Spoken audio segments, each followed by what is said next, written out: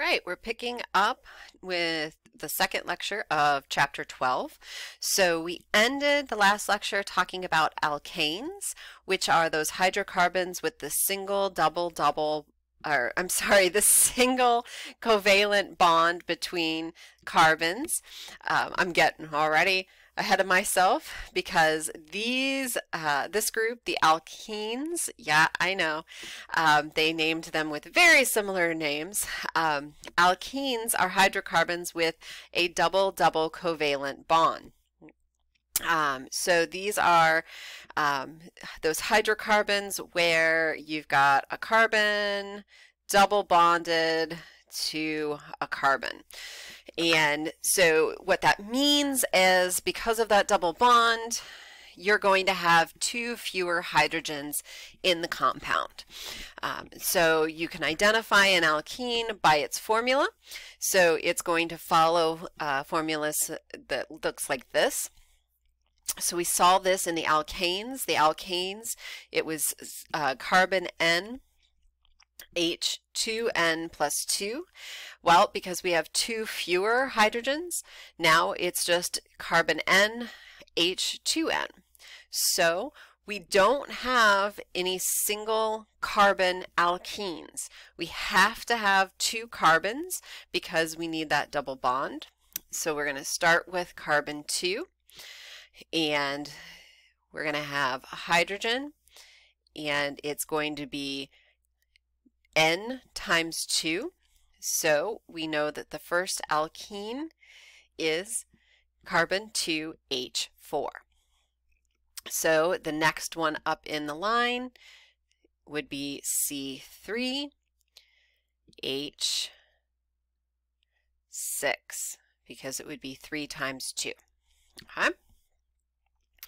So the simplest alkene is called ethene um, so we had ethane for the alkane version. Um, the simplest alkene, which is the C2H4, is ethene. Sometimes it's called ethylene. And ethylene is used to make plastic, like these Ziploc bags that are here. So um, we'll see this later in a lecture um, in this chapter called polyethylene, um, where poly, you put a bunch of them together. And then Ethylene is also the gas that fruits are contain that make them ripen. So plants use ethylene gas to ripen the fruits that contain their seeds. This is actually why if you put a fruit in a plastic bag, it will actually ripen uh, because the ethylene from the plastic bag will actually cause it to ripen. And this is also why if you have three tomatoes like what you see here in the picture, this green one uh, will start to ripen faster than normal because it's trapped in the bag with the gas from these other tomatoes. So this allows us now to talk about the concept of saturated versus unsaturated hydrocarbons. So an unsaturated organic molecule does not contain the maximum number of hydrogen um, atoms possible. So what do we mean by that? So the maximum number of hydrocarbons in an organic molecule means that there are no double bonds. So if there are double bonds or triple bonds between the carbons, then you know that you have an unsaturated organic molecule. Because what we're talking about with saturated versus unsaturated is the hydrogen atoms. So if we look, for example, down here at ethane, Ethane is considered a saturated hydrocarbon or saturated organic molecule because there's no double bond between the carbons and the maximum number of hydrogens are attached to that molecule. Versus ethylene over here. So ethylene has a double bond between the carbons, which means you could actually put more hydrogens onto that molecule. Um, if you break one of these bonds in the double bond, you could add those two extra hydrogens. So an unsaturated organic molecule is less stable uh, because it has that option to add more hydrogen. And this makes them more reactive. This is why ethane, the alkanes, are not as reactive as the other hydrocarbons uh, because they are completely full of those hydrogens, so they are not going to react very easily versus something like ethylene, an unsaturated organic molecule, which has this double bond, but it could still hold more hydrogen atoms to become a saturated molecule. So there we've got them labeled now. So unsaturated over on this side with our ethylene, and we've got saturated over here with our ethane. So we've got one last group of hydrocarbons to talk about, and these are the alkynes. I know, alkane, alkene, alkyne. These are hydrocarbons with a carbon-carbon triple bond. So Carbon-carbon triple bonds have two less hydrogen atoms than an alkene. So we've got, again, another formula similar to our last one, only now because we have another two hydrogens gone, it's CN H2N minus 2. So um, again, we cannot have a single carbon atom because we have a triple bond. So our smallest alkene, I'm sorry, alkyne um, is C2. And then we've got H, so 2, N would be 2 times 2 minus 2. So we've got H2 because we've got 4 minus 2 would be H2. So C2H2.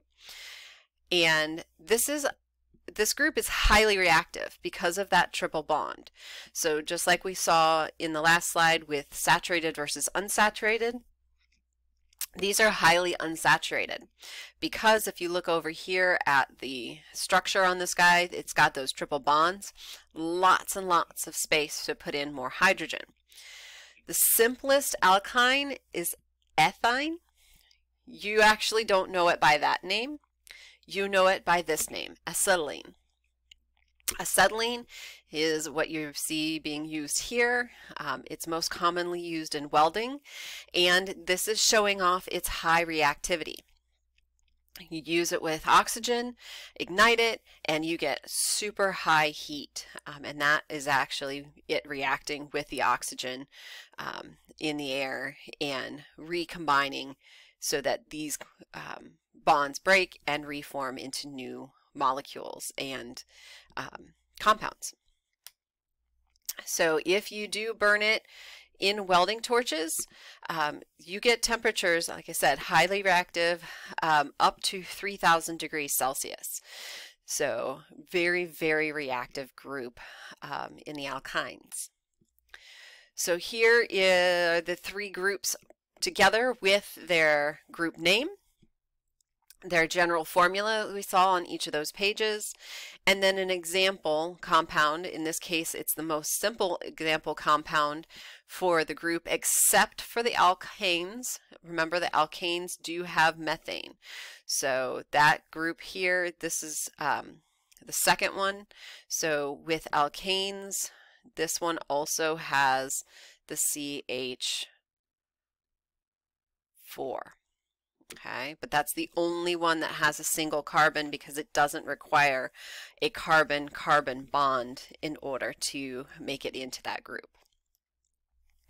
All right, so there is another group um, that are special hydrocarbons that we'll see on and off throughout this chapter, and those are the aromatic hydrocarbons. These are compounds that have what we call a benzene ring structure. So how do we get what we call a benzene ring? Well, these are formed when you get uh, six carbons and six hydrogens creating a structure. So if we take a look over here, the six carbons form a ring, and then you've got the six hydrogens bound to them.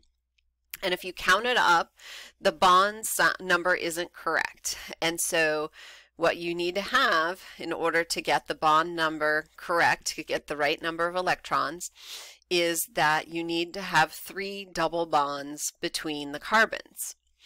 The thing is, is that these electrons are what we call delocalized electrons because what they can do is they can swap between carbons. So if you look at these two pictures here, the double bonds aren't in the same place.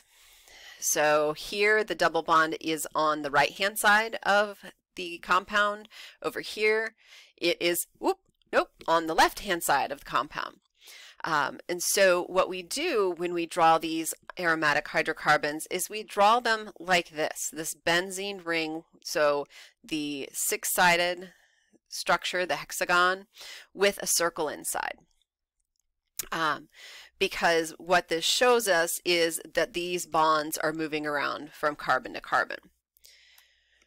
These do not react easily to add hydrogen. So unlike what we saw with um, the alkenes and the alkynes,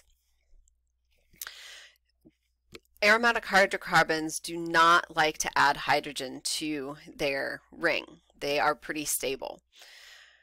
Um, but the reason why they're called the aromatic hydrocarbons is because they do have odors. So you might think, well, wait a minute. I have propane at home and I can smell the propane or I, you know, when I light up my um, grill, I can smell the propane. That smell is actually an additive. We add um, those odors to things like propane and natural gas because hydrocarbons do not have an odor unless they belong to this aromatic hydrocarbon group.